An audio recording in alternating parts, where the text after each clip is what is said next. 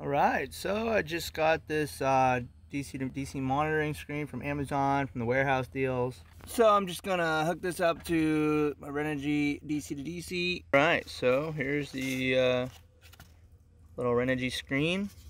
So there's the uh, Cat 5 style cable. Here you can see the uh, Cat 5 cable goes in the back of the unit. So that's kind of interesting. It is made to be flush mounted against something.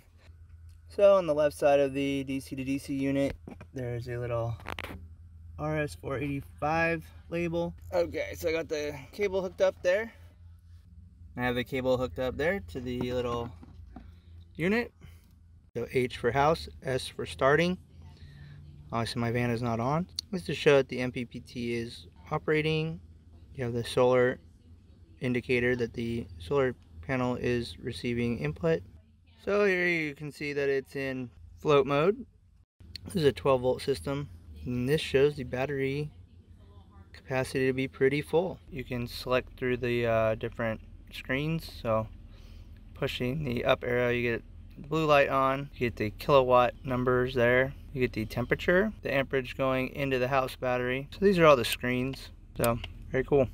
So there's a whole host of error codes that can pop up on the screen, which would appear here. Fortunately, I don't have any error codes.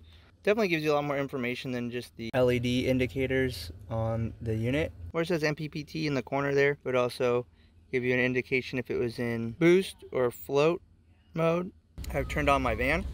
You can see the starting battery, the S below shows the voltage coming from the alternator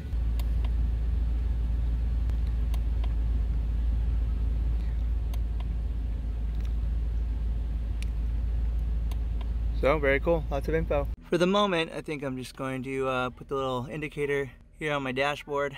Cable's just running behind the seat to the DC to DC.